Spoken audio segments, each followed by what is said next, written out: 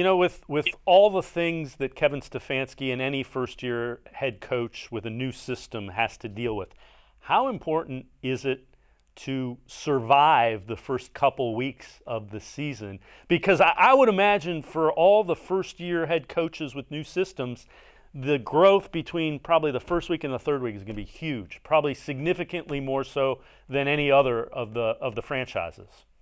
Yeah, you're you're absolutely right on that. And in the NFL especially anymore, that those first four games have almost for some teams become an extension of the preseason. We see teams all the time that get off to slow starts and then they kind of really get going in November and December. Seattle is a team that's just absolutely known for doing that every year.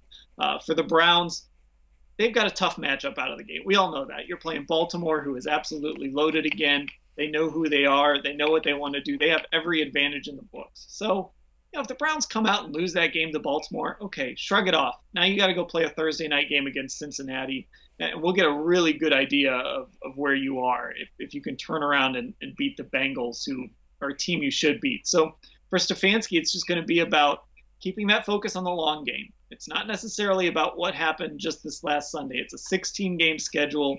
but Let's just take that in chunks and see where this team ends up at the end of December.